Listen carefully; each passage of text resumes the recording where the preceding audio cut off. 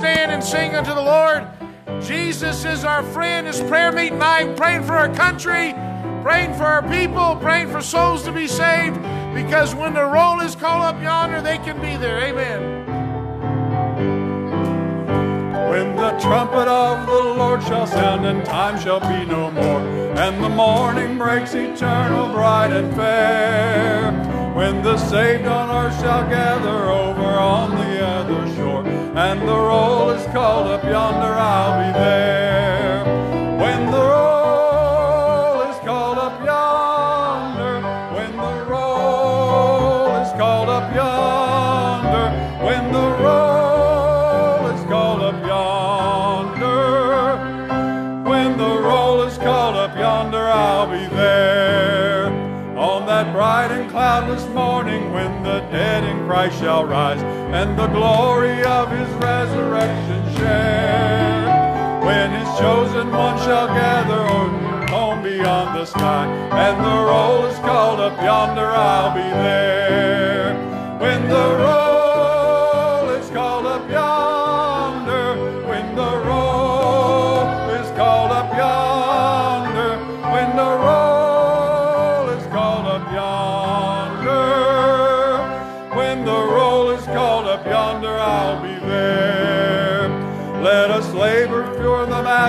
from the dawn till setting sun.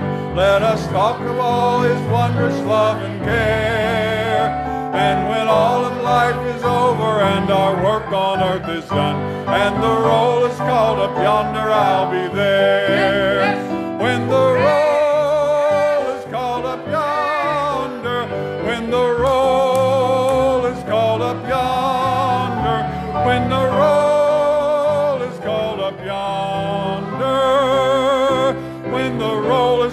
up yonder, I'll be there.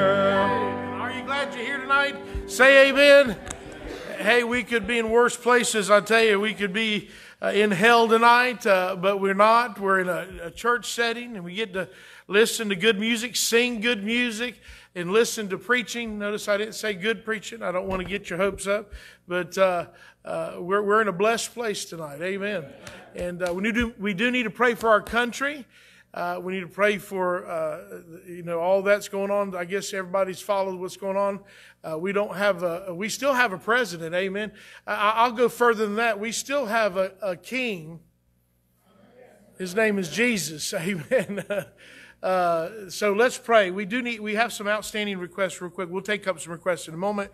But uh, Lola's daughter Brenda has been struggling with cancer for many years, and uh, I was informed that she's. Uh, they've given her a week to live, and let's just pray for cross and grace. As far as I know, she's saved. Uh, and also, Candy's not feeling well. Br- Burton Hewitt has the the work the the uh, mechanic shop up here. He has stress test tomorrow. We're going to pray for him. And also, uh, as far as I know, she uh, Rebecca hadn't had the baby yet. Anybody heard anything different? They induced her, so she must still be, and that's unusual. Usually, after after uh, several children, uh, babies come a little easier. But uh, so maybe they, they put it off. I don't know. I don't know the details. So let's pray now.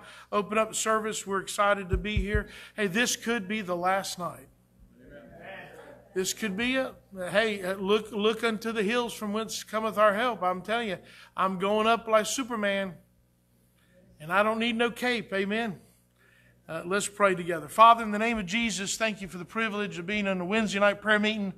Thank you for these dear folks that made their way out tonight, knowing the, the necessity to pray. And Lord, I realize this whole service just really needs to be us talking to you, but Lord, help us to fellowship, help us to worship you, help us to get a touch from heaven tonight. And we do pray for these requests already. We, we lift them up to you and we ask you to be merciful to us. And Lord, I know we all deserve what we, we deserve, uh, what we get. Uh, we, we reap what we sow. And I pray, Lord, that tonight uh, that we might uh, be able to pray through some things and get some peace about some things. And Lord, some of our people that are being heavily attacked right now, they're not here. I pray, Holy Ghost, that you might touch them and uh, Lord, remove the fear that's away. And, and Lord, help people see that the devil's attacking. It's not, it's not government, it's not uh, one another, but I know it's the devil, and he's trying to do, do something horrible to us. Uh, God, we, we claim the victory tonight. We thank you for the joy that comes through salvation. In Jesus' name, amen. Turn around just wave at each other if you would.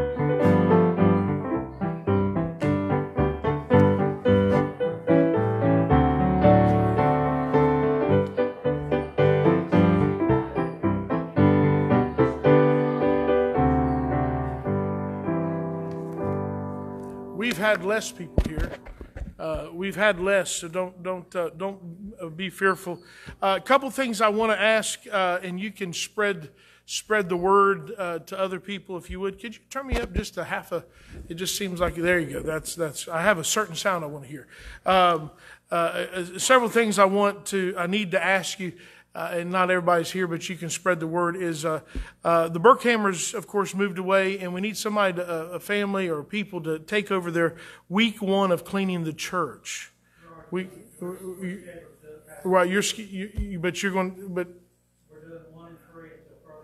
Well, I need somebody to take one of those. He ought not have to do the two two weeks. So. Uh, I'll, I'll, give you time to pray and fast and seek God. And oh, we got week one right here. That praise the Lord. All right, there, right there. So, so we know Tony and, and the family, and you're going to be swabbing toilets and all that. By the way, I got toilet number two in the women's bathroom unplugged. Amen. The preacher still got it. Amen. Abby called me and said, "We, I can't get it undone. I, I know how to do it. Just pow." I changed. Hey, how many how many Baptists does it take to change a light bulb? That's for sure. Well, it helped. I turned the lights off. You know, uh, you know, I had lights on and that was out, and I'm sitting there looking up and I'm, I'm looking like a deer in headlights, going, turn the lights off. Uh, and then also Saturday, we are calling an emergency work day. We need your help Saturday uh, to to because we are planning on we're, we're we're praying that we'll have the CO on Friday. Tomorrow is going to be a work day for some of you. We've already talked to some of you about this, but Saturday is a, a day we've got to get everything that don't need to be in that in the building out, and the floors need to be mopped, and there's some walls that need to be wiped down a little bit, and just you know gussied up a little bit, and uh, and so we're praying for that. If we're not in, if if they don't come on Friday, sometimes they come the next day. Sometimes it might be the next on Monday. That hopefully next week, by the latest next week, that we'll have our CO, and then we'll be good to go. Amen. Amen. Uh, so we need your help. Uh, let's do uh, nine. Uh, well, should we say nine on Saturday? Nine o'clock on Saturday. It'll be good. Nine o'clock. Uh, and by the way, if you're scheduled to clean, if you're scheduled to do yard work, if you cannot do that, you call. Get that list that we have. It's. I think there's some in there. They're they're scattered around. Call somebody and just let them know. Somebody else that cleans, or get somebody clean. Because because uh, there's been times when people hadn't called and it didn't get cleaned. It, it, the yard didn't get done. And just call and ask somebody, would you cover for me? That would be great. Uh, or call me and say, hey, I can't get a hold of anybody. At least we can uh, brace ourselves for whatever. But uh, uh please help us out with that. That would be a blessing. Uh, so Saturday at 9 o'clock. Uh, tomorrow, um, we're, we, we've got, I'm trying to get several people together. Ronnie, who's doing security, is going to be out here. Brent said he could try to be out here uh, John's going to try to be out here. He's, he's going to work on the, the handicap uh, lettering, but we're going to fill this hole out here. If any of you want to come out and help out a little bit, that would be great. I've got a few other things. I've got a new light for the parking lot that goes up on the side of the, the overhang that lights up the parking lot better because this time of year is kind of dark. And that one burn out, Chinese burn out, but I got a new Chinese, so maybe it'll last longer, a little bit longer. Uh, so there are a few things that we can. Uh, I want to replace the rest of the lights in the in the hallway with the same bulbs so it'll look the same. Y'all notice stuff like that? I know Tony didn't. I asked him, but, but I noticed stuff like that. Just me? Okay. Um, but uh, is that is that all, juniors? Anything anything else need to be aware of? Junior? Oh, where? i'm think you're over there. Is there anything else you need to be aware? Uh, I'm sorry, y'all have beards now. So Junior, Gary. he, he, Junior, he, Gary. Related, yeah. That way. Smile again? No. that was a joke. Okay. All right, uh, praises this week. Uh, uh, hey, we're here. Uh, don't be doom and gloom. I know dark. The, the getting dark earlier always puts a little bit of sleepiness on us.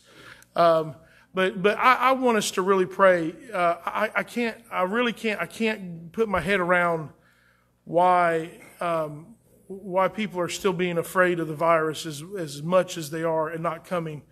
And all we can do is pray for those dear folks and and and, and hope that they see the need to serve the Lord and, and be in church. And I've called a few and they and they're just afraid. And and I, I, it'd help if you call them too and just encourage them just encourage them. But uh, I praise the Lord that uh, uh, that that I don't have that. I mean, I I, I don't want to. Well, I ain't going to do it. What would happen if I did that? So I ain't going to be here. I'm scared. You know, and and and I'm sure there's some pastors that do that. That they just they'll kick out. And I, hey, we got to keep on going for Jesus. I mean, you, we lived in the dark ages, and they had the black plague and everything else going around. We've got to keep on going for Jesus. And when, when statistics come out and they say 99.6% of the people are recovering from this, that's, that's, I mean, more people die of the stomach flu, you know, that type of stuff. And, uh, but anyway, so let's pray for those dear folks that they get back in church and in prayer meeting, praying for our country, praying for our president and, uh, and whoever else may get in. We just, we just need to pray. Uh, any more praises, Leslie? Amen.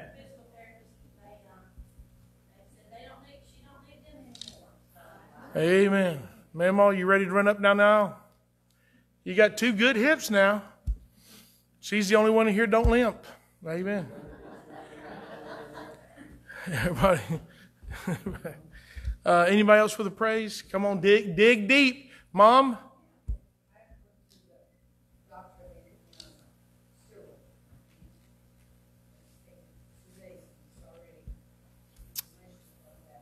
Amen.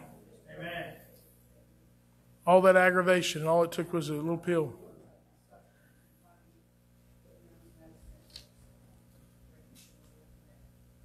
Amen. Anybody else for the praise? Susan?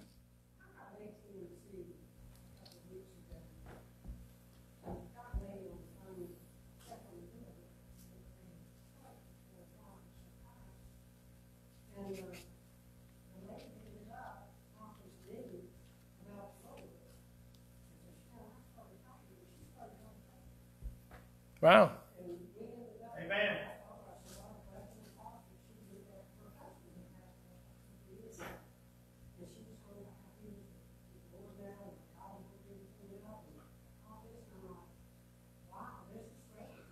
Yeah, absolutely. Yeah.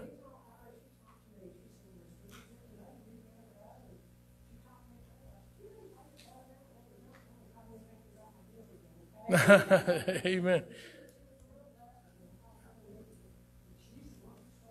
Amen. That is good. I, I have a blessing on ATMC. The, the, the, the, something happened back when the credit card thing got messed up, whatever, and the bill was higher and it didn't make, it was confusing. So I called them to get it clarification. And I said, is there any way we can save any money? And they said, you won't believe this, but if you, if you uh, sign up to go to the high, higher, like 250 whatever megs, it's $10 cheaper a month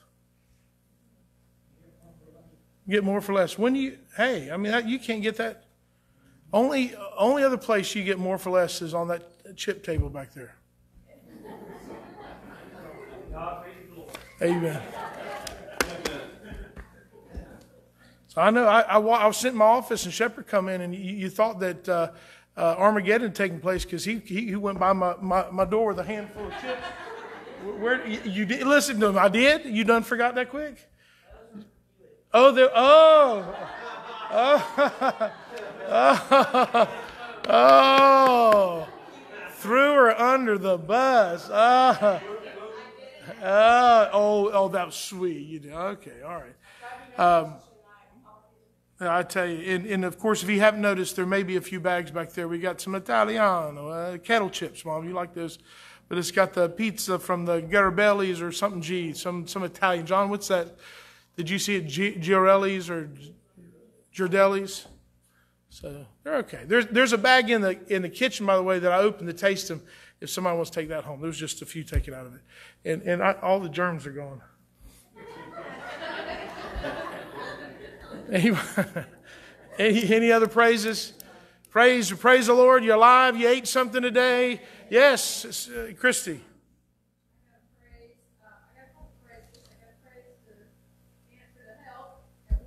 Amen.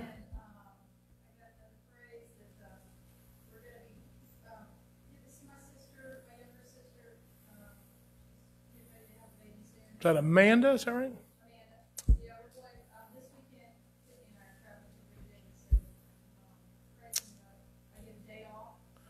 Wow. Praise the. Day off and travel. Brent gonna give you a big love offering. Amen. Anybody else have a praise? Uh, something good? Yes, go ahead. I just want to praise the Lord that I'm here. Amen. How God moved us here. I'm so brave. It won't know. Man alive, it's just been so great. So blessed. And Amen. I even got to share that today with one of our students, just sharing my testimony. Amen. I'm so glad with you. I love y'all with all my heart. Amen. I'm just thrilled, happy, full of joy. Amen. That is revival. Sounds like revival. Hallelujah.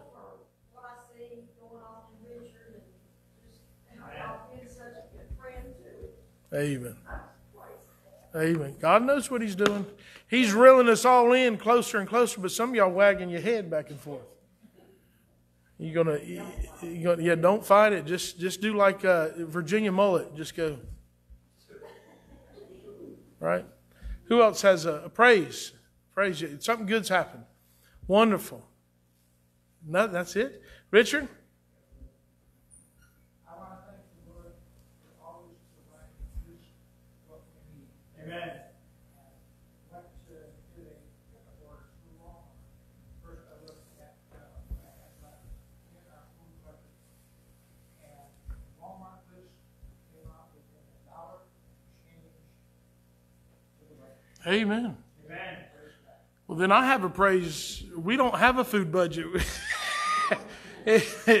we want it, we buy it, right? No, uh, no within reason. We buy the, the, the generics, of course, all the time. So, what is this? Uh, I, I, I want to praise the Lord that uh, I haven't taken any medication today other than my heart, heart medicine. Amen. Although you may think I'm on something else, I'm just the joy of the Lord. It's, it's, it's, it's good to feel good. I can tell you it's bad to feel bad, for sure. Uh, anybody else have praise? Keely?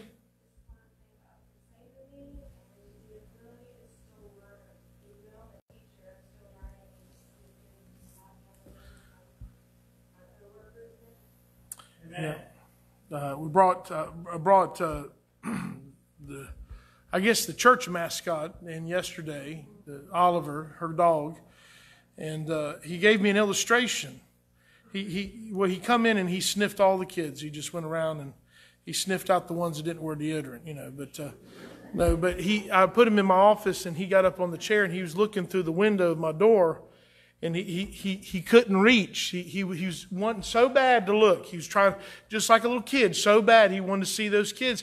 And, and he, he, he kept trying to do, and he put his paws out and he, and he missed the door and he, his head went right in the door, boom, and, and fell.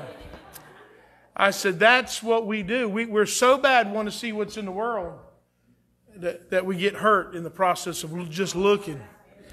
And I said, learning from a, learning from Oliver, for sure. Anybody else have a praise, uh, prayer request? Uh, let me go over some of the prayer requests real quick. We need to pray for Buford. That's uh, um, Phyllis's dad. He's he's. Uh, I guess she said he's kind of give up. He's 96, 97, 98, and uh, his cancer. So pray for Phyllis. And, and and he's not, as far as I know, not. He's not saved. Super nice guy. So let's pray for Buford.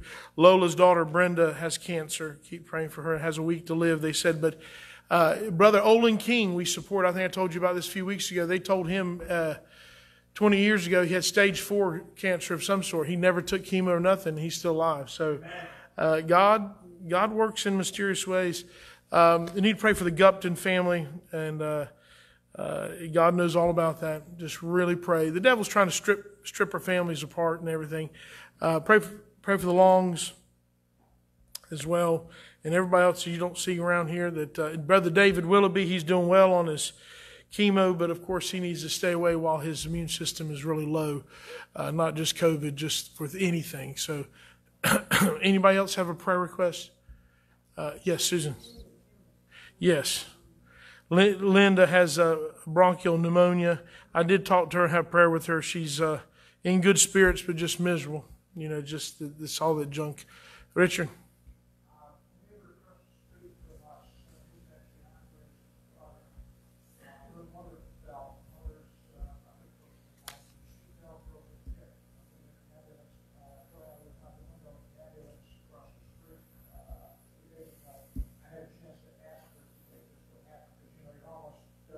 We right.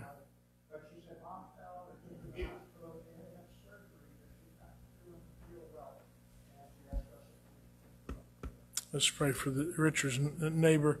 Uh, also, um, Eleanor, uh, they she had fallen, but just they had over medicated her.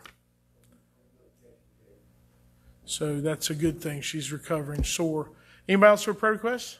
Uh, Susan and Paige, go ahead.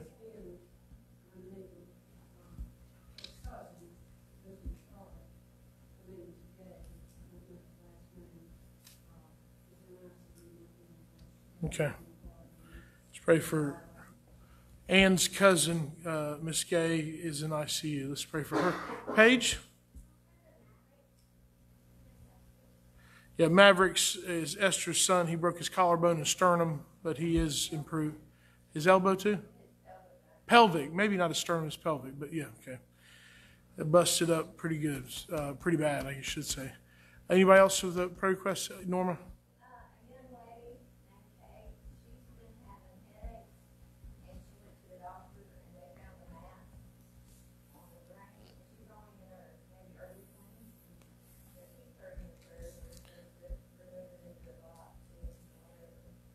Okay.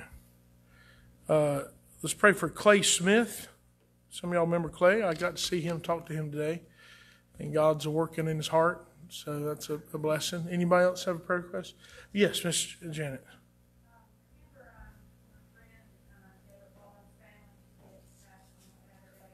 Hmm.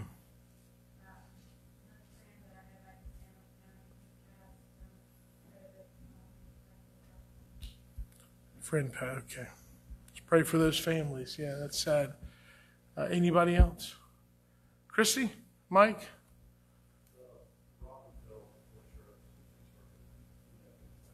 Oh, man. Let's pray for Robin. That's not good.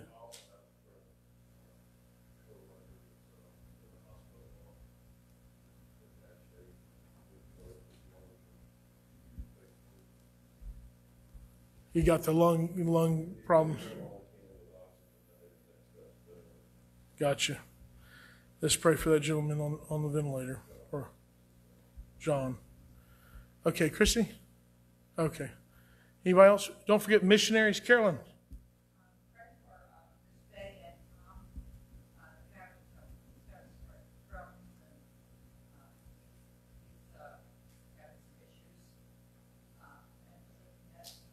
for, uh,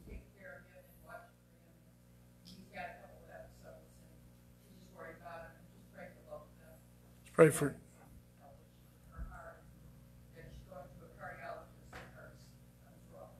So okay. Oh, I got you. Let's pray for Faye and Tom. Keely? Anybody else with unspokens? Let's pray for lost loved ones as well. You have lost loved ones, you raise your hand. You pray. Are we ready to? Don't forget our missionaries. Uh, we're lining up things. Uh, we're, we're praying too, by the way, we get in the building, we're going to have a Christmas party in the building. That'll be exciting. And, and uh, Thanksgiving's around the corner. Week after next, the schools, uh, uh, the older part of the schools going to Kentucky for their, whatever you call it, senior trip or just, just uh, kill the pastor trip. And um, yeah, yeah, I got to drive. Being in the, in the bus with all them, I, yeah. And for and Shepherd's birthday is the seventeenth. He is uh, he's wanting uh, whatever you'll give him. Amen. Are you ready to pray? Uh, let's pray for our nation. Let's pray. Let's seek the Lord. Father, in the name of Jesus, we want to thank you for the privilege, the be able to come to church and listen to your people, uh, give you praise and give you honor. Uh, Lord, I just want to thank you. Just want to be grateful. Lord, thank you for the for the bad times and the good times, Lord, for the ups and downs of life. Lord, we just want to be grateful that we have a home that's already been prepared, a place for us to go to be with you forever. And Lord, we magnify your name. We, we worship you tonight. We give you glory. You're wonderful counselor. You're my Savior, Lord. You're my friend. You're my, you're my Redeemer. Lord, I give you the glory, give you honor. You're worthy of our time. You're worthy of our of our life, our finances, all all that's about us. Help us to uh, give ourselves more and more to you. Lord, we come before you and we, we ask you, we beg you, be merciful to our country. Lord, let right prevail, let wrong be uh, put down. Lord, let, let the right uh, righteousness uh, uh be seen and, and the crookedness and the cheating be, be done away with. Lord, I know that when the righteous prevail, the, the people rejoice. And God, I want to rejoice. I pray you be merciful to us and, and let the right things happen and help us to trust you and depend on you uh, in every, every area of our life. I, I thank you, Lord, for our, men and, and, and the women that have do the work around this church and clean and, and uh, Lord, those that are uh, do the yard and those who worked on the building. And Lord, I thank you for those who come out tomorrow and help uh, get that ditch done and the few little things done so we can we can get in that building. Lord, help us to be uh, to be a part of the this expansion of the ministry you've given us, Lord. Uh, I come to you now on behalf of these people that have been sick and those that are lost. Lord, Buford needs salvation. God, I pray before it's eternally too late, he turned to you. Pray for Phyllis. I know it's heavy on her heart. We pray for Brenda, Lola's daughter, that you would touch her and, Lord, draw people to you through that the, the terrible uh, thing of cancer. We lift up the Guptons. Uh, Lord, you know that situation. We, we beg you for help for the Longs, uh, Lord, we, we miss them. We pray, Lord, that come back to church, Lord, for, for the David and Kay, and we love them and we pray for health for them. Uh, for Linda, Lord, I know she's got that pneumonia. Touch her and heal her. And Virginia, to her, her sister in law. Lord, we pray for Richard's neighbors, mothers that have the hip problem. Uh, let her have some ease of pain. For Eleanor, let her get back on her feet, I pray. And for Ann's cousin Gay, I pray, Lord, that you'd help her.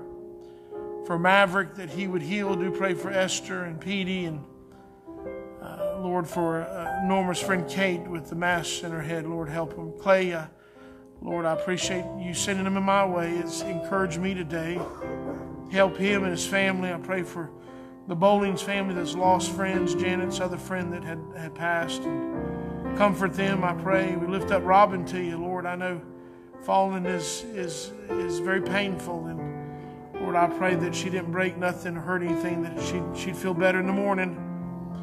Uh, Lord, we pray for Mike's friend John in the hospital that's struggling to breathe. I pray God that you you touch him and help him tonight. For Tom and Faye, Lord, you know their their physical issues. Help them as well and for the unspokens, the lost loved ones we have. I pray you meet those needs. Our missionaries, Lord, I pray for Miss Mary and uh, Brother Ronnie and Bobby and Glenda tonight. Uh, we pray for the Wolfords aren't here. God, you, would help them. And do pray for the uh, Burkhammers too, and we miss them and uh, all those folks, our bus kids and uh, Lord, Miss Tina, I think of her and um, Lord, I, I just I just want to say, even so, come, Lord Jesus. It would be wonderful if you'd come. I pray for Aubrey and uh, Nancy. Uh, Lord, we, we, we call on you now, Lord. We ask you now to, if it be thy will,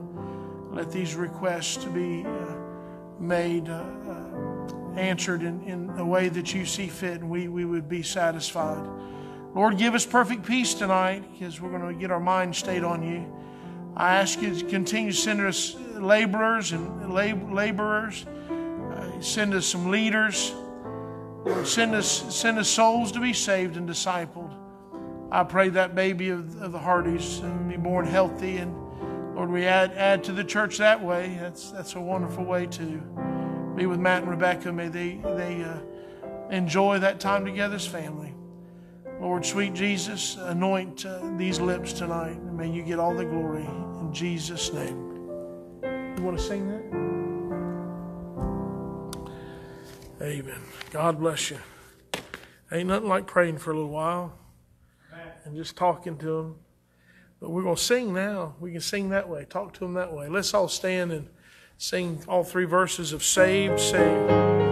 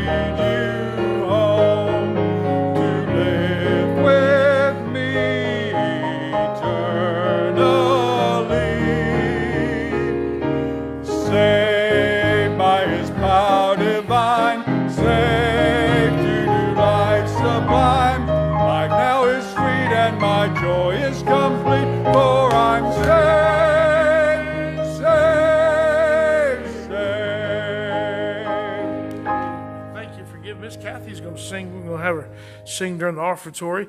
And uh, come on up, Miss Kathy. And I appreciate y'all giving and supporting. We're getting close to Christmas. I started looking for Christmas presents today. And uh, yeah, I didn't find none for myself. But uh, uh, no, uh, I hope I hope you're preparing. God, what what what does God need that He don't have? Us. Junior's heard that before, hadn't he? That's right. He's got he can create everything else, but he can't create us to he's not going to force us to love him. And I think we can just say, "Lord, I want to get a little closer. I want to love on you a little bit more." Just like that little dog. Sometimes that dog gets in my face and I'm like, "Don't lick my face." And he'll put his face next to mine and he'll he'll he'll kind of go like that and he knows he knows just like I know that when he has a bone, don't stick my finger down there cuz he got me one time. Because last time he got him, he's limping now. No, I'm kidding. I'm kidding. You ready to give tonight? Give of your heart, would you please? Let's pray. Father, thank you for the offering. Lord, that we can give more of finances. Uh, we can give something other than finances. We can give ourselves tonight. And Lord, help us give us. Uh, Lord, bless our people. Lord, encourage them tonight through your word. Encourage them the fact they did the right thing being in church. Lord, uh, bless uh, this offering. Bless this song Miss Kathy's going to sing. In Jesus' name, amen. Música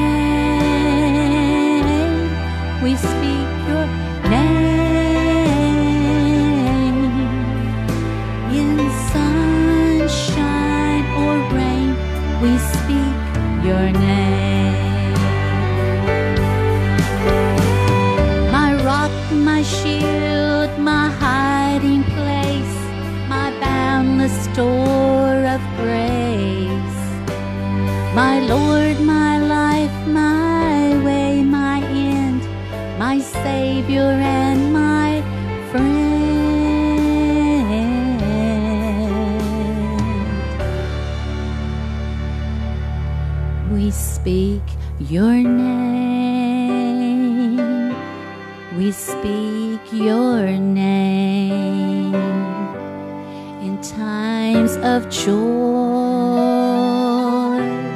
in times of pain. We speak your name, we speak your name. In sunshine and rain, we'll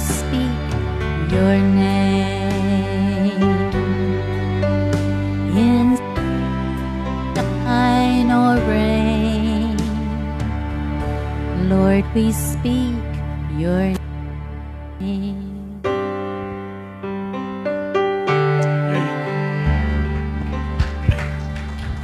God bless you, sister. Yeah, the mic cut out there at the end. We're having the, the microphones are falling apart. They're not but 15 years old, so uh, the microphones are older than some of you youngins in here. Amen. Uh, you can turn that down a little bit. I don't know what everything gets messed up occasionally. Uh, Ecclesiastes chapter 3, I don't even know what time it is. Is it time for preaching?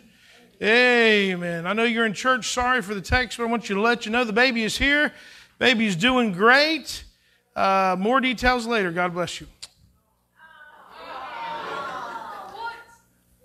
He said, Thank you, everyone, for praying. Amen. Well, we know that it's here. Don't know what boy, girl, how long, how much it weighs, uh, but thank the Lord that it's healthy. Or it, amen. Uh, so, do I now? We just prayed the baby.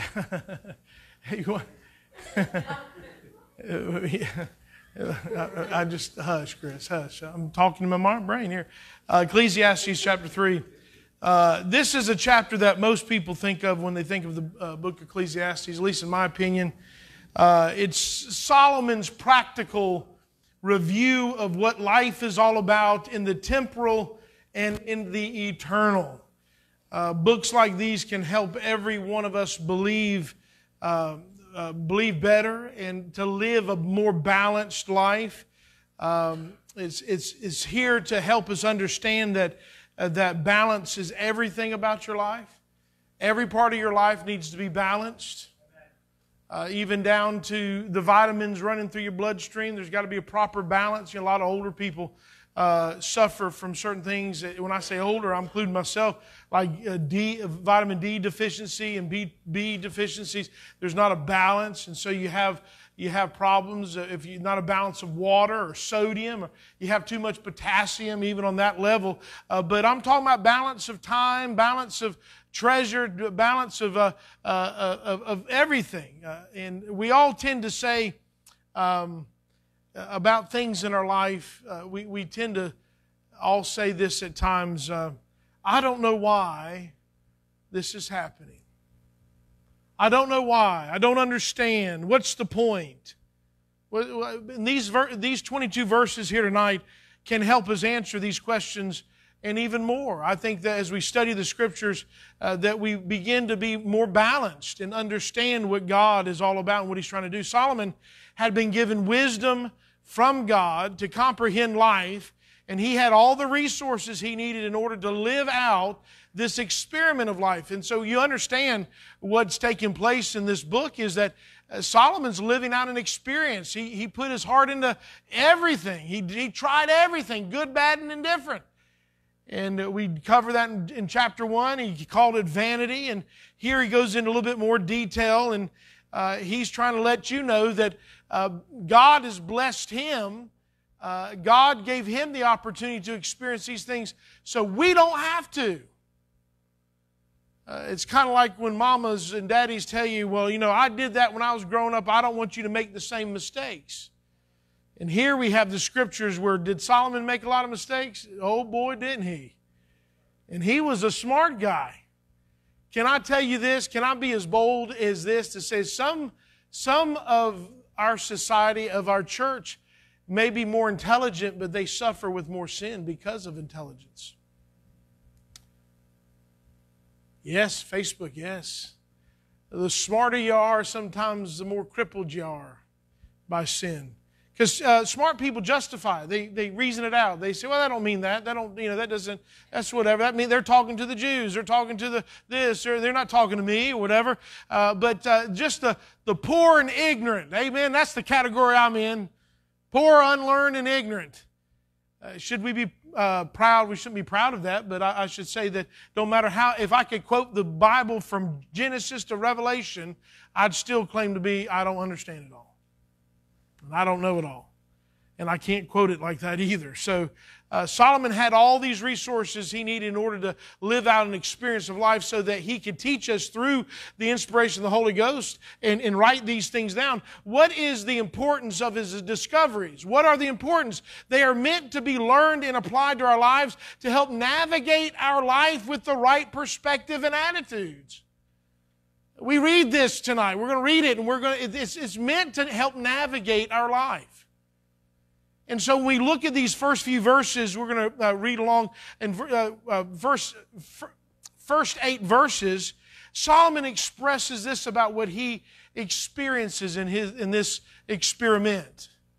He, he, he expresses about life that life must be balanced. It must be balanced. If you look at the scriptures, it says, To everything there is a season, a time to every purpose under the heaven.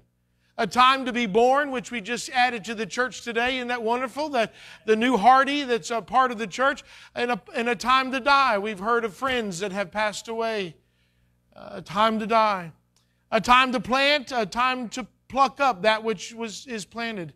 A time to kill and a time to heal, a time to break down and a time to build up, a time to weep and a time to laugh, a time to mourn and a time to dance, a time to cast away stones, and a time to gather stones together, a time to embrace and a time to refrain from embracing, a time to get and a time to lose, time to keep and a time to cast away, a time to rend and a time to sow, a, a time to a, a, a time to keep silent and a time to speak, a time to love and a time to hate, time of war and a time of peace.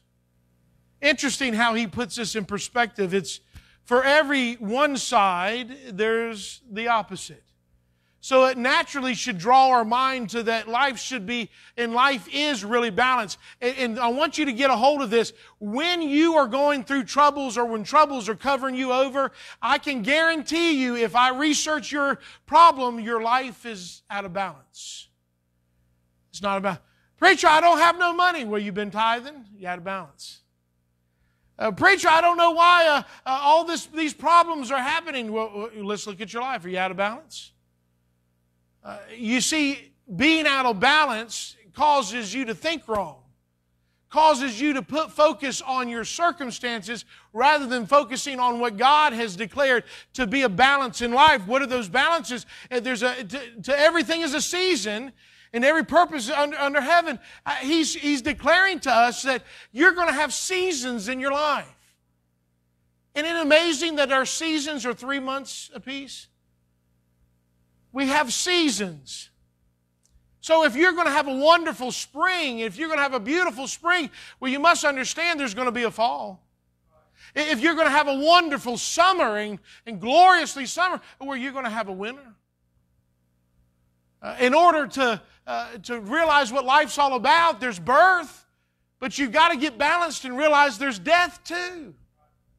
You see, when things are out of perspective, out of balance, you go through life and says, well, I'm, I'm saved now. I can just live like I want to do. And you get out of balance and you think you're never going to die. You think you're never going to reap where you sow. And it gets it unbalanced and you start thinking wacky.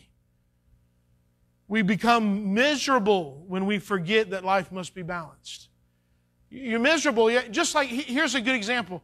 Uh, there was a time that on Wednesday night we'd have we have 50 some kids that'd be packed out there and we have we'd have 30 to 50 people in the sanctuary and we have uh, potentially even uh, up uh, close to 100 back there we had a time of, of bounty but now where are they at you say, "Oh man, God, God hates us, and God." Uh, uh, well, if it was always, if you think about keeping it always up and up, and there's never, there's never no time to cycle. There's never a balance, and it's always like that. You know what happened? You know what happens? We burn out. Eh, what, eh, that's what happened. The season changed. The, uh, the motives were uh, realized, and we, we understood. And as a pastor, I understood what I need to do. Um, it's not, it's not an easy thing to accept sometimes, but when you realize that uh, life is out of balance in how you think. Let's go over these real quick. Uh, time to be born, time to die. We understand that. Time to plant and a time to pluck up that which is planted. Uh, what's the most thing that's plucked up every year? You plant tomato plants, and this time of year you pluck them up, don't you? Well, that's unfair. Why can't they live through the winter? Well, I'll put them in a hothouse. I'll do whatever. Well, because God intended for that plant in, in a lot of plants to, to have a season of death. And that they propagate through seeds, not through keeping the vine alive forever and ever. So again, it's that balance that we have to understand. If you don't have a perspective of that balance or a proper perspective, you're going to get mad. You're going to stay angry. You're going to be fearful. You're going to be upset. You're going to be uncertain about life. You're going to be confused. It says a time to kill and a time to heal. Now, kill don't mean your neighbor. I believe it's talking about killing germs, maybe, maybe killing animals for food, and, then it's talking about healing. There's there's a time that, that you have to put you have to put old Yeller down. Okay? And then, there, then uh, think about the balance of this is that you had to put Old Yeller. I'm trying to. Some of y'all don't know who Old Yeller. Who knows who Old Yeller is? Who doesn't? Well, just a couple. You go, Disney made a movie. You can watch it. so they had to shoot Old Yeller, and so that was a time to kill, right? Because he was he had rabies or was ravenous, and so then the, the the opposite, the balance of that is a time to heal.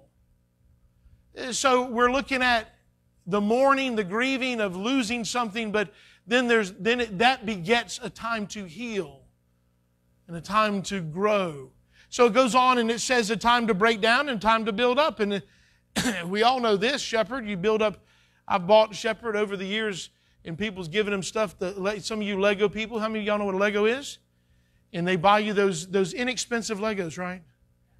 You know that little box that's twenty five dollars, and it builds a little ship or builds a little something and we get it all built and, and then it's time to build up and then you tear it all down. You're like, what in the world? That's, I'm using my Lego analogy there. Uh, but it could be breakdown, talking about uh, maybe breaking down pride in your life, maybe building some up encouragement, a time to weep and a time to laugh. There's appropriate time. There's a balance. Uh, you ever met somebody that's very, that's always just, eh, there's no, it's just all lopsided. They're all doom and gloom. Or then you have the other wackos that are all just uh, like high on dope or something. There's got to be balance. When you see people that are, you think, what's wrong with them? And you see people always, I hate my shoelaces. You say, what's wrong with them? What's wrong is this, is they've got out of perspective what life's all about. Life isn't about always being one way or a one, uh, having uh, it all always your way, everything going the way you want it. Life is a balance. You're going to have a time of life, but there will be a time of death. There will be a time to laugh, there'll be a time to weep, there'll be a time to mourn, and a time to dance. That's not dancing after your loved one dies, but is it? See, not without perspective, you would think, well, we're just supposed to, we're just supposed to kick a can. But it says after a time to mourn is a time to dance. So the balance is the mentality God wants us to get in our brain is that there's a balance that I shouldn't mourn forever. I should stop at some point and pick that time to balance out the days that I mourn. I need to rejoice and celebrate through dancing. It ain't the watermelon crawl either. Amen. Ain't boot scoot boogie or anything like that. It's dancing before the Lord. It's a it's a celebratory. I believe jumping up and down, waving your hands. Uh, it's not the it's it's not the, uh, the the shag or or or the the Charleston. Then it says a time to cast stones, cast away stones, and a time to gather them together. A time to work, a time to put up and put put away, time to embrace, time to refrain from embracing there's emotional. There's a lot that can be said here. I don't have time to get into it. A time to get and a time to lose. Time to keep and a time to cast away. A time to rend and time to sow. Time to keep silent, time to speak. That's one I have problems with. A word fitly spoken is like apples of gold and pitchers of silver. So, although communicators tend to get things more, uh, they get more things done because they're communicators, sometimes communicators over communicate and they wear people out. Under communicators do the same thing because you have to pull everything out of them. You, you have to ask them everything. Which one are you? Are you unbalanced? Are you unbalanced? Do you talk too much or you don't talk enough? you know, we're supposed to, this is, this is how marriages go. And Leslie and I have pretty much, we've, we've passed that threshold, and some of y'all have been married a while, is that uh, uh, I, I, don't, she knows what I'm thinking, and I know what she's thinking most of the time. You, y'all been there? Yeah, you've been married long enough. And, uh, but early on, I'd get mad because she didn't do this for me or buy this at the store, my favorite this. And, and I said, well, why did you do that? She goes, well, I didn't know. I was supposed to know that. Well, I didn't communicate it. Then there was some, I don't know when it was, maybe 10 or 12 years ago, I, I, learned something, I don't know, it was through the five love languages or something. I learned that, you know what, I can get a lot from my wife if I've just talked to her. Speak to her. Tell her what I want, what I need. And if she communicates with me, by the way, same things happens in church. Same things happen with God. You have not because you ask not. So are you unbalanced? And you're unbalanced, you're frustrated. If you're not a talker, and I'm not trying to change your personality, if you're not a talker and you're frustrated with people, you're frustrated with your spouse, it might be because you're not balanced enough. You need to learn to talk. And it may be if you're overly talk, you run your mouth so much that the other one can't get a word in edgewise. You need to tone it down. You need to balance. Need that ba- Junior, you said that a little loud. I don't know. I and Susan, X-ray vision just burn, a hole inside your face. Or yeah, you're all right. I'm gonna be working on that marriage tomorrow. Amen. Um,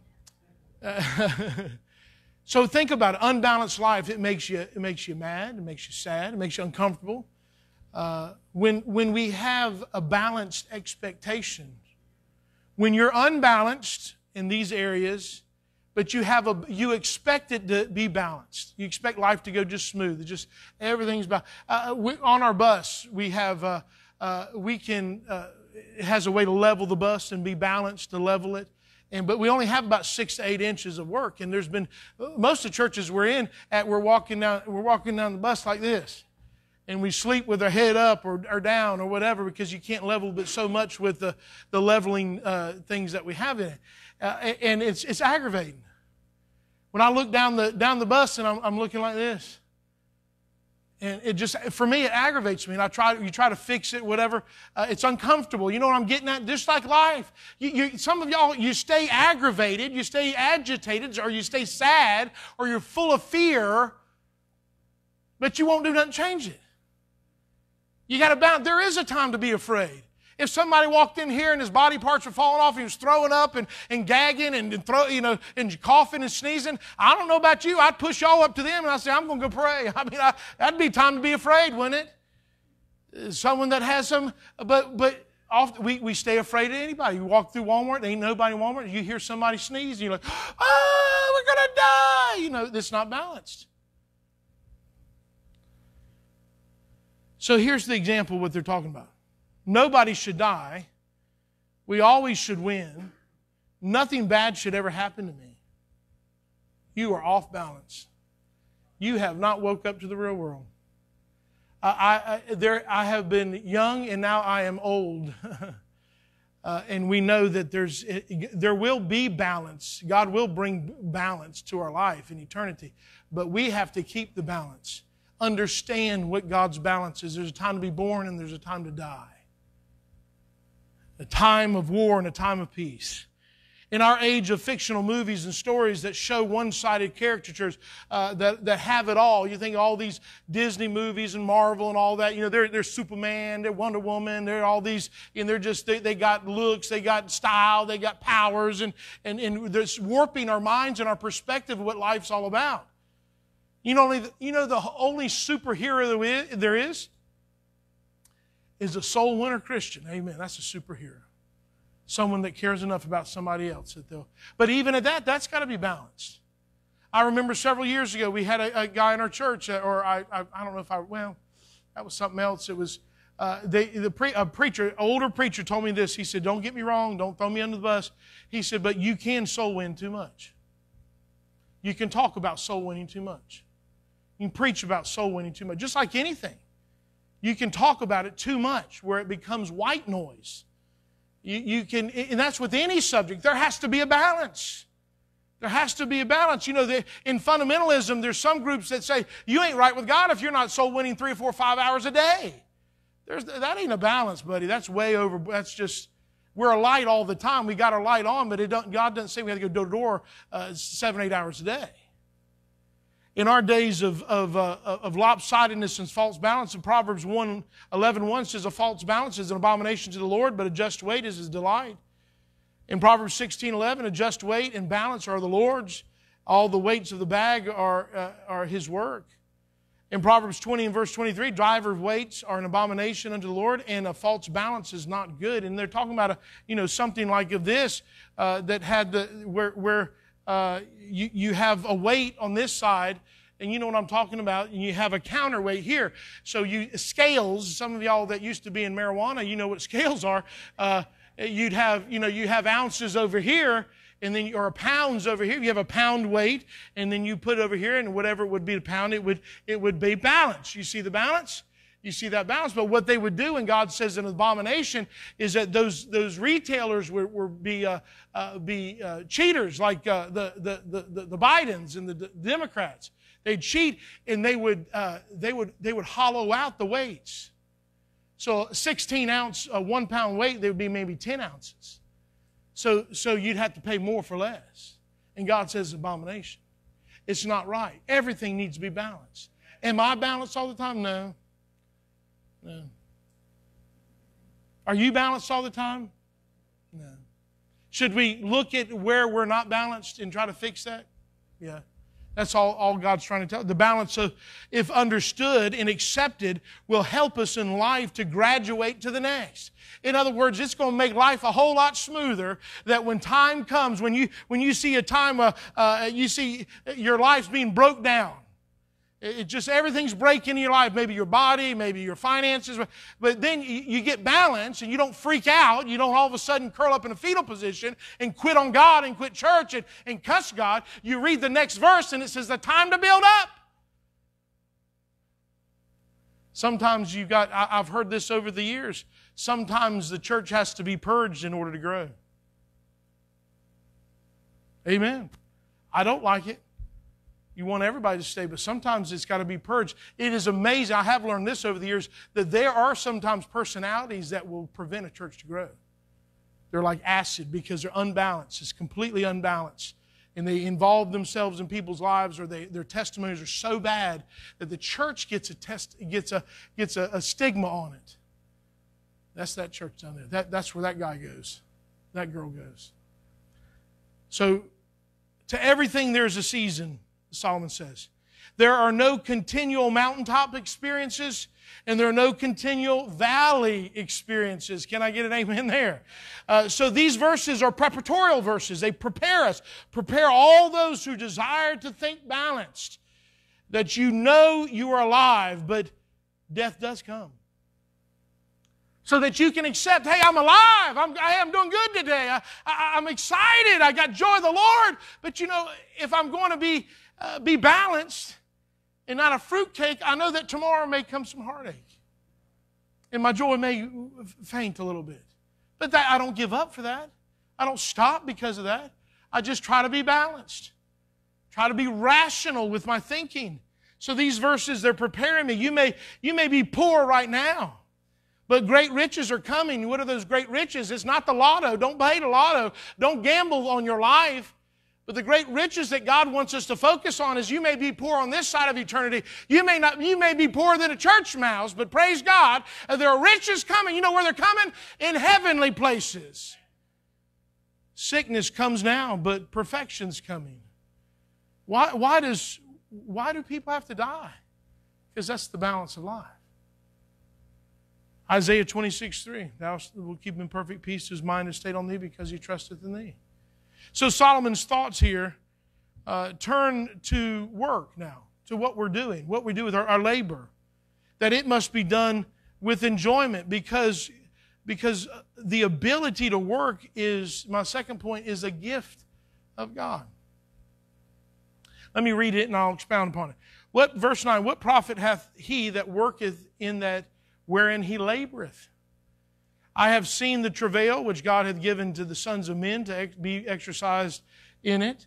He hath made everything beautiful in his time. Also, he hath set the world in their heart, uh, set the world in their heart, that so that no man can find out the work that God maketh from the beginning and to the end. That's just basically saying, God, God, it, none of you, none of me are going to figure out everything there is about God. That's what that statement is.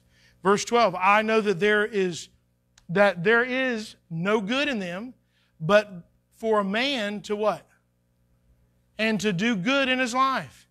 And also that every man should eat and drink and enjoy the good of his labor. It is the gift of God. I know that whatsoever God doeth, it, it shall be forever. Nothing can be put to it, nor anything taken from it. And God doeth it that men should fear before him. So salvation there's only one other place that we know that God says there's a gift of God in that phrase. I know there's different gifts, gifts of uh, encouragement, gifts of tongues, and those types of things that are for, for the Old uh, for the early church. But here, this is the only, I've studied this before, the only two places it says the gift of God. First is the, the eternal gift of God is salvation. So that's salvation. The, the ability to work and survive, to eat and drink, is the temporary gift of God. So we got a God that's balanced. He gives us eternal gifts. That, and what, what balance is that? Temporary gifts. You see, how, how often do we get unbalanced when we think life stinks? Life stinks. And what, what Solomon is saying, hey, hey, you eating and you drinking and the work of your hands, rejoice in this. For this is the gift of God. You got to look at a difference. Balance, but it's also understanding that God's gift to, to, work and to labor with our hands and serve the Lord, it's just as, it's just as powerful. It's just as a balance as, as eternal life. As much as we uh, are on this earth and as uh, frustrating as life can be, it's only frustrating when we think uh, that working stinks. When we start saying that this, uh, I just want to be saved and sit in a pew. Hello? God is so good to us that He provides us free eternal life and also joy. Get this in eating and drinking and working. Drinking's not alcohol, of course being to sit back and get a Bojangle biscuit with a large sweet tea and hallelujah, you can enjoy that after you you mowed the yard or, or you, you went on visitation or you, you talked to your neighbor, you had a Bible study. Uh, God uh, taught Solomon a lesson and he's teaching us this, this evening uh, that we need to look at what the gift of God is and also that every man should eat and drink and enjoy the good of all his labor. It is the gift of God. You ever ever received something that was a gift, but you really didn't think it was a gift? You didn't realize it was a good thing? It's kind of like your parents saying, you know, go out there and rake the yard, sweep the driveway. I told you that one already, right?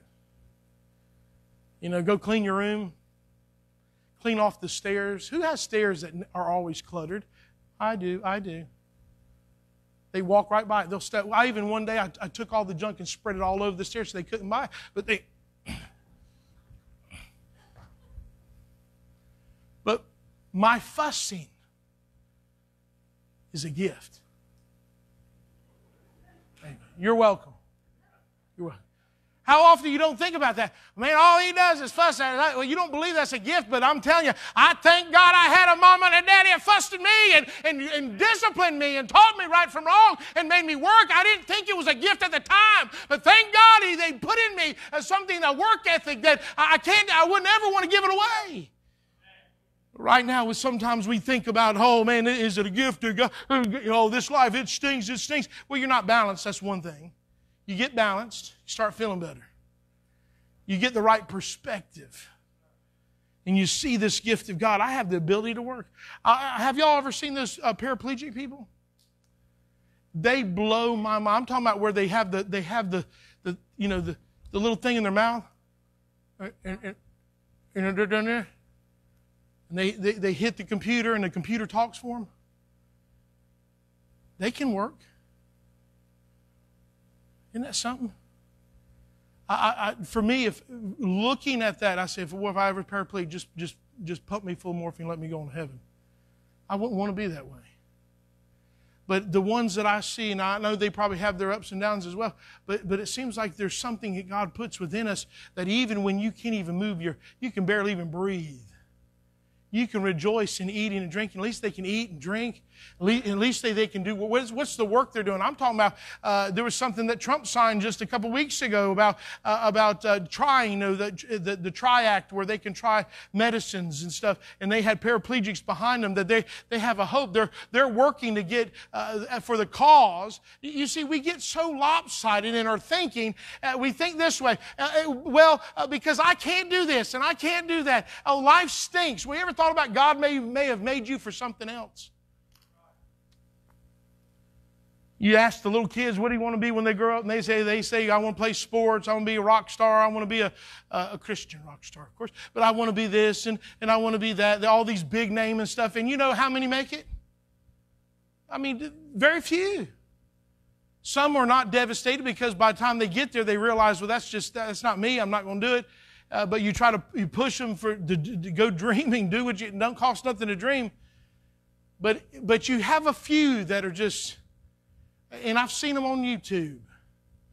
They they make their own videos and they say, "Listen to me sing," and you're like, "Dear God, they missed their calling. It wasn't singing." You know, but they think they're they think they're Elvis Presley or whatever. They just and they're consumed. There was one. Uh, what was that one guy that was in the church and he he said he could sing like that. Uh, what was that song? What was I'm looking for a city? And he was going, I'm looking for a city. And, and you think this guy's got to be off his rocker. Uh, uh, but he's unbalanced. He was off his rocker. He didn't, he didn't put in perspective that you thought, look at the gift of God. God has given you the, you ought to rejoice in this gift. 1 Corinthians 10 13, let me get back focused here.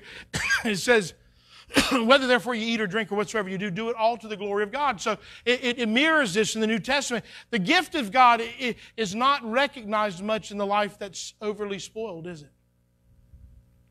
This temporary, temporal gift of God is not recognized much in a life that's spoiled. You always manipulate. You know how to get your way. You know how to get satisfied. You, but you're always struggling at the same time. Why is that? It got quiet, didn't it?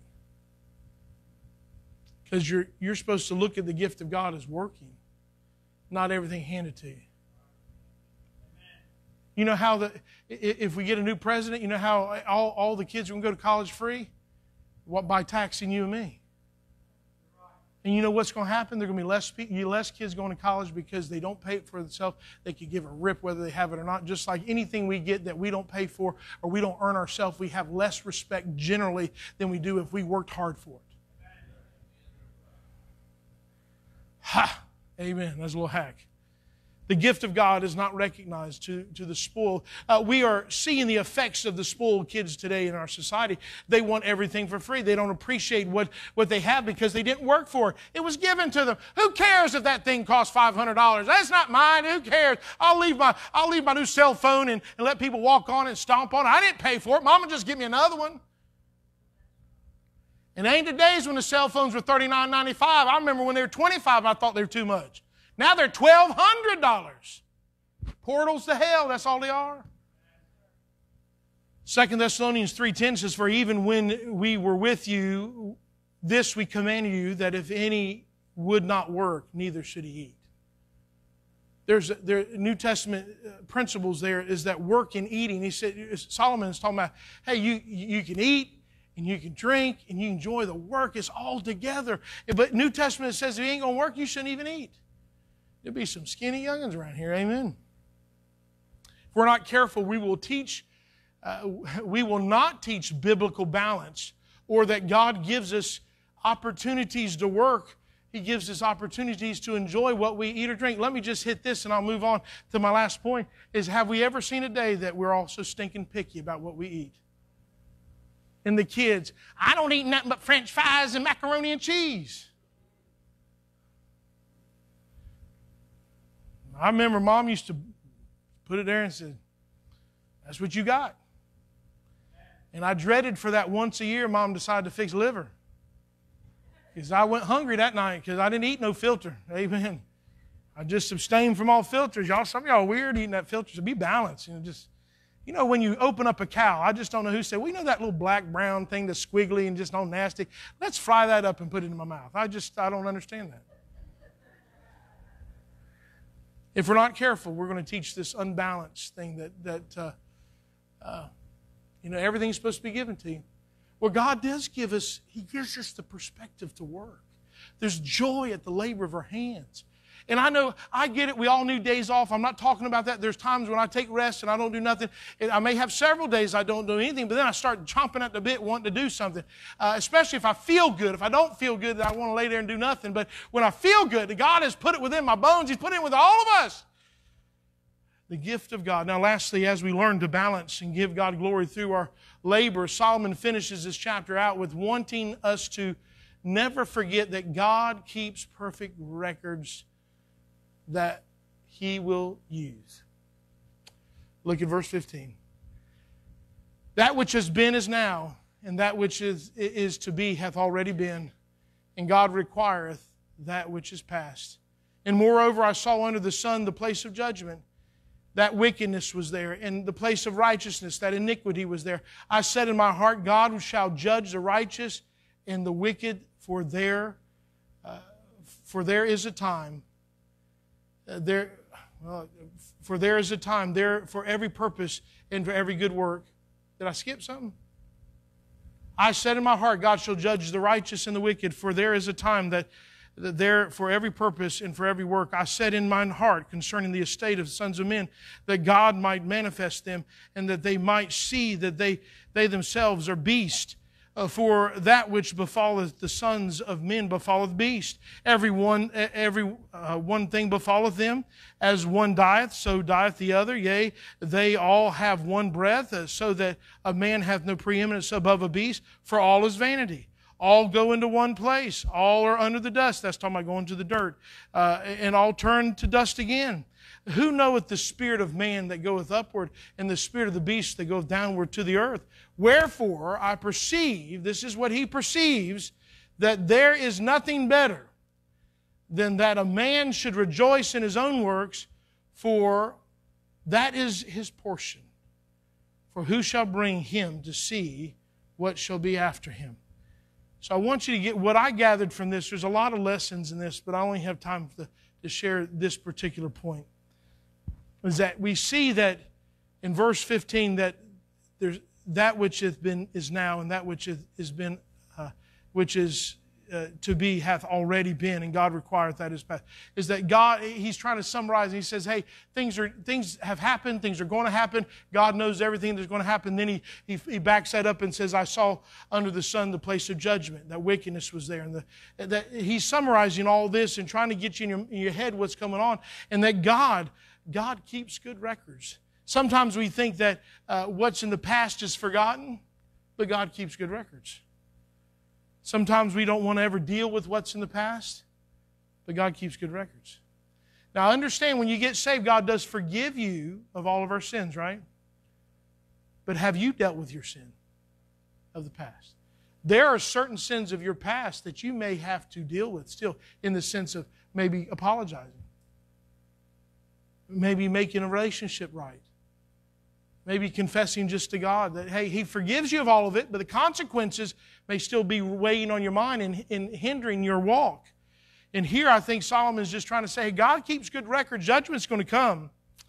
And he says, I, I, I said in my heart have, concerning the estate of the sons of men that God might manifest them. He's going to bring everything to pass, everything up. Everybody's going to die, beast and man. They're all going to go to the grave, and you better be ready.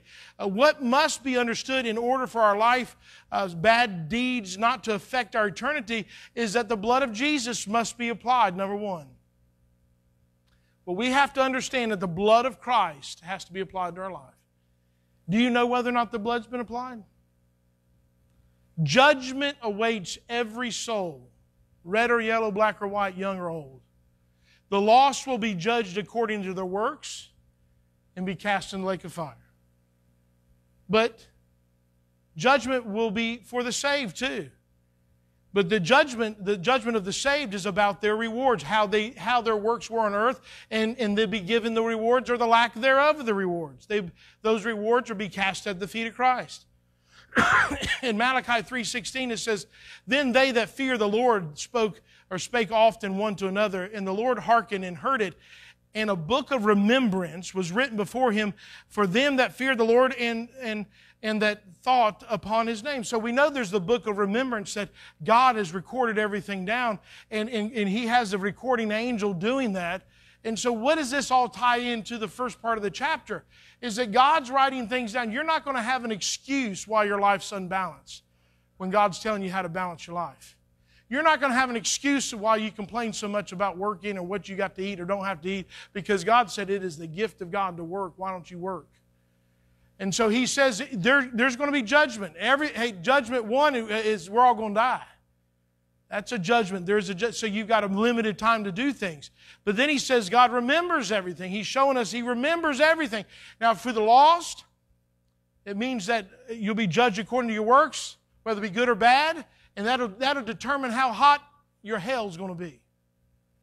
And for the saved, we're going to be judged at the Bema seat, the judgment seat of Christ, because according to our works, whether it be good or bad, and, be, and we'll receive rewards. We're not judged according to our salvation because we're saved forever. We- We're judged according to our, uh, our works to, to receive rewards. In Revelation 20, verse 12, it says, And I saw the dead, small and great, stand before God, and the books were open. Another book was open, which is the book of life. The dead were judged out of, the, out of those things which were written in the books according to their works. It's amazing how desensitized we become to our own sin. Be sure the farther you are from God, the more sin you will practice and condone. The farther we get away from God, the more you're going to practice and the more you will condone. How do we condone sin? Does that mean that you, you go down the street, you see sinners and say, hey, God thinks that's all right? God thinks. No, condoning sin means may you, you see sin in your, your own life or your family's life and you say nothing about it. You're not willing to even speak up. That's a sobering thought, isn't it? So, if we're not willing to speak up in our own life or speak up with our family's life, what does that mean? It means we've become so desensitized to sin. What does that mean? That uh, we're not even aware, our, our life's not balanced, we don't understand the gift of God, we don't put perspective what our life should be like. The closer we get to God, in, in remember this, the further away you get unbalanced, but the closer you get to God, what happens? The more sensitive you are to sin. The more, more that music you can't listen to that even may be Christian, but it really makes you think about the honky tonks or whatever it is. Uh, the, when you get more closer to Christ, the more you realize that how I dress and how I talk and my attitude makes a difference. You, get, you become convicted. Man, I said that. I don't need to talk that way. I don't need to say that. I, I need to have. I need to be, be, be happier. Man, I'm saved. I've got the gift of God, temporary, and I've got the eternal gift of God. Hallelujah. So the closer we get, the, the less sin we practice and the more sensitive we become to sin, and things that, that would distract us from God are not as much there. If you're working for the Lord to the best of your ability, then we can rejoice in our work because we know where we're going. In verse 22, it says, Wherefore I perceive that there is nothing better than that a man should rejoice in his own works, for that is his portion. For who shall bring him to see what shall be after? So all we can see the hereafter is what we read of the Bible, right? And it says, and he's talking about the only thing that we have to really show our efforts as a Christian are, are our efforts as a Christian. It can say, who's going to bring them to see the hereafter? God's not giving anybody revelation, I believe, of heaven. You know, it's these people writing books. I, I need to write a book. I went to heaven. I went to hell. I went this way. They're just writing books. You if you want to believe that, you can. I'm not going to fuss with you. But I'm telling you, the scripture says, who's going to bring you to see that? So you don't need to look at, uh, up in heaven and, and just gaze up there all the time. Uh, to, to, see approval uh, from God in some mystical, magical way. God says, "Oh, well done," you know all that. But we need to look at what our efforts are on this side. If I were to ask you to write what, down what you do for the Lord, not just in the church, but what you do for the Lord, how you spend your time, how long would that page be? How balanced would it be? I talked with somebody recently that they said, I talked about this balance in, in their life, and they say, they said, Preacher, well, I just got to work. I got to work so much. And I said, You use the bathroom, don't you? Why can't you, while you shower, and listen to the Bible? Right? See, when you really want to do something, you find a way. When you don't, you find an excuse. But I found this. I, I said, well, you told, I told the person, I said, you, you, you used to do this and you loved it. You gave all your life to it. You, you just practice it and practice it. And there are things that we all can say, whether it be sports or some type of activity, and you gave your life, you gave money to it, you bought stuff, you got the jersey maybe, the hat, you know, or whatever it is. It may be uh, vehicles, it may be boats or motor, whatever it is. Whatever you love the most is what you're going to serve the most. Hey, I've been there where you lay in bed and you think about what you can do the bus. And then you wake up and say, I ain't got no money because the bus costs too much. So I might as well just leave it alone. Amen. you can let things control you other than God. And that's when you get out off balance. No longer balance. You lose perspective of what life's all about. Life isn't about all gain, all wonderful, all retirement, all blessings, and all this.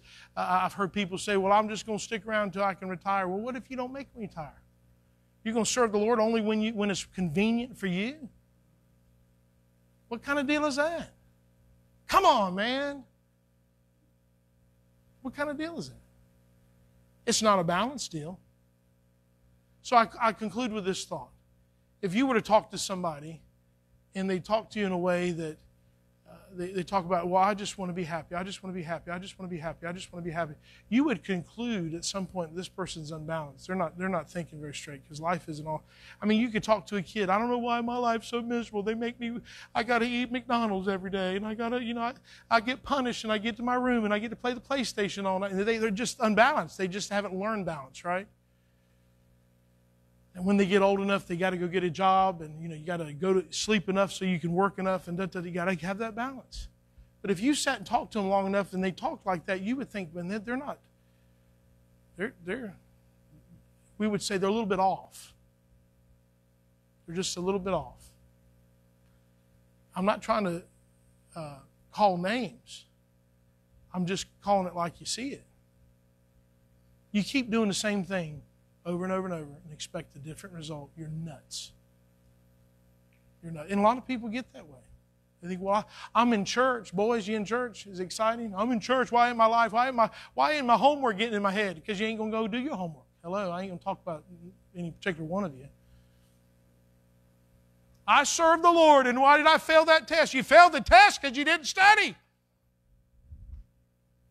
That's unbalanced. But you expect that from a young person, right? We get a little older, get a little gray in our head, we ought to do a little bit better than that. I can't believe they come and took my car. Well, when you signed that paper, you knew you couldn't make the payment. Hello? I've talked to people like that over the years. You're like, wow. So, balance. There's a time for everything, there's a season for everything. Let's get balance where God wants us. Would you please stand? Father, thank you for the privilege of being to preach and thank you for the strength that you give me and to preach. I thank you, Lord, that you help me realize some areas I, am still unbalanced in. I do pray for our people here, those that watch, those that are present, those that are listening, that they get balanced. These teenagers, these young people realize they, they should be balanced. Uh, Father, do that work that only you can do. I can just be a, a, a distributor of your truth the best that I know how to and God, it has to be your spirit that works in their heart. We ask it in Jesus' name. With your heads bowed and eyes closed, would anybody admit tonight that say, so I need to ask the Lord to help me be more balanced? Would you slip your hand up? All over the building. Are you someone that needs to be more balanced? You lift your hand up. I think we all should say that. There's certain areas. So why not ask the Lord right now, Lord, show me those areas and specifics that I need to be more balanced.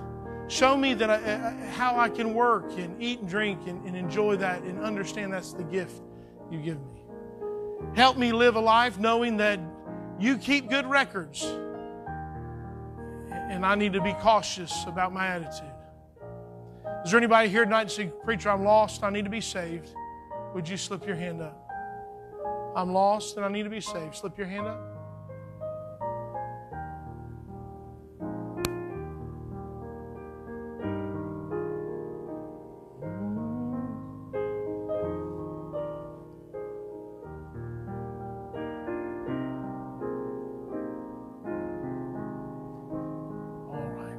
Why don't you dismiss this time? You can pray. I know you can. I hadn't called on a youngin in a while. Dismiss this. Just go ahead.